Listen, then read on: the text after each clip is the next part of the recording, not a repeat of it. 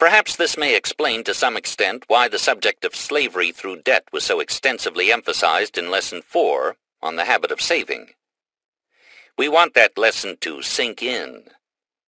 Edwin Barnes not only believed in the soundness of the law of success philosophy, but his own financial success had demonstrated, as had also his close business relationship with the greatest inventor on earth, that he had the right to speak with authority on the subject of the laws through which success may be achieved. I began my work of research with the belief that success could be attained by anyone with reasonable intelligence and a real desire to succeed, by following certain, then by me unknown, rules of procedure. I wanted to know what these rules were and how they could be applied. Mr. Barnes believed as I did. Moreover, he was in a position to know that the astounding achievements of his business associate, Mr. Edison, came about entirely through the application of some of the principles which later were tested and included as a part of this philosophy. From his way of thinking, it seemed that the accumulation of money, enjoying peace of mind, and finding happiness could be brought about by the application of never-varying laws which anyone might master and apply. That was my belief also. That belief has now been transformed into not merely a provable but a proved reality, as I hope every student of this course will have reason to understand when the course shall have been mastered. Please keep in mind that during all these years of research, I was not only applying the law covered by this lesson by doing more than paid for, but I was going much further than this by doing work for which I did not, at the time I was doing it, hope ever to receive pay. Thus, out of years of chaos, adversity, and opposition, this philosophy was finally completed and reduced to manuscripts, ready for publication. For a time, nothing happened. I was resting on my oars, so to speak, before taking the next step toward placing the philosophy in the hands of people who I had reason to believe would welcome it. God moves in a mysterious way his wonders to perform.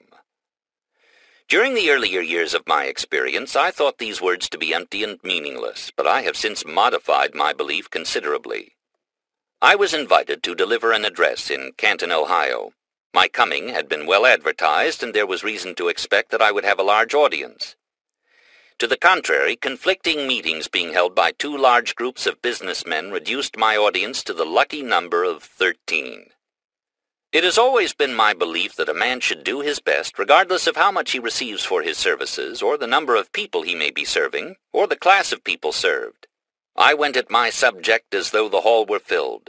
Somehow there arose in me a sort of feeling of resentment on account of the way the wheel of fate had turned against me, and if I ever made a convincing speech, I made it that night.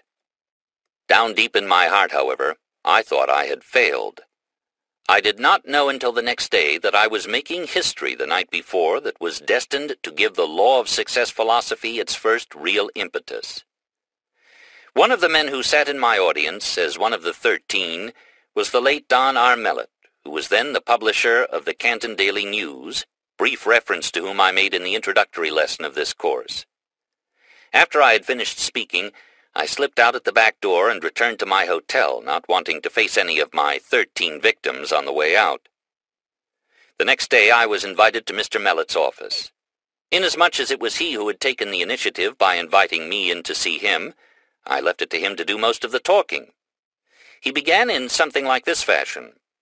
Would you mind telling me your entire life story from the days of your early childhood up to the present? I told him I would do so if he could stand the burden of listening to so long a narrative. He said he could, but before I began, he cautioned me not to omit the unfavorable side. What I wish you to do, said he, is to mix the fat with the lean and let me take a look at your very soul, not from its most favorable side, but from all sides. For three hours I talked while Mellett listened. I omitted nothing. I told him of my struggles, of my mistakes, of my impulses to be dishonest when the tides of fortune swept against me too swiftly, and of my better judgment which prevailed in the end, but only after my conscience and I had engaged in prolonged combat. I told him how I conceived the idea of organizing the law of success philosophy, how I had gone about gathering the data that had gone into the philosophy, of the tests I had made which resulted in the elimination of some of the data and the retention of other parts of it. After I had finished, Mellett said, I wish to ask you a very personal question, and I hope you will answer it as frankly as you have told the remainder of your story. Have you accumulated any money from your efforts? And if not, do you know why you have not? No, I replied. I have accumulated nothing but experience and knowledge and a few debts, and the reason, while it may not be sound, is easily explained. The truth is that I have been so busy all these years in trying to eliminate some of my own ignorance, so I could intelligently gather and organize the data that have gone into the law of success philosophy, that I have had neither the opportunity nor the inclination to turn my efforts to making money. The serious look on Don Mellett's face, much to my surprise, softened into a smile as he laid his hand on my shoulder and said, I knew the answer before you stated it, but I wondered if you knew it. You probably know that you are not the only man who has had to sacrifice immediate monetary remuneration for the sake of gathering knowledge. For in truth, your experience has been that of every philosopher from the time of Socrates down to the present. These words fell as the sound of music upon my ears.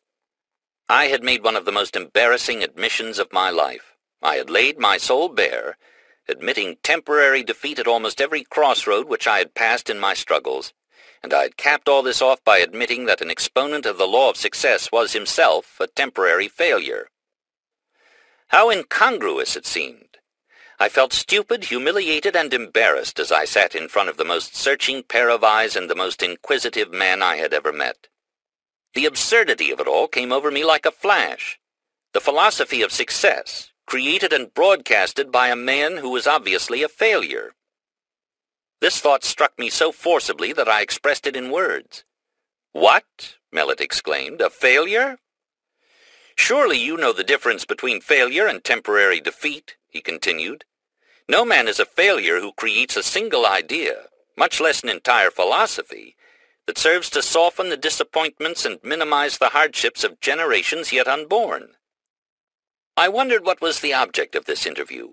My first conjecture was that Mellett wanted some facts on which to base an attack in his newspaper on the law of success philosophy. Perhaps this thought grew out of some of my previous experiences with newspaper men, a few of whom had been antagonistic toward me. At any rate, I decided at the outset of the interview to give him the facts without embellishment, come from it what would.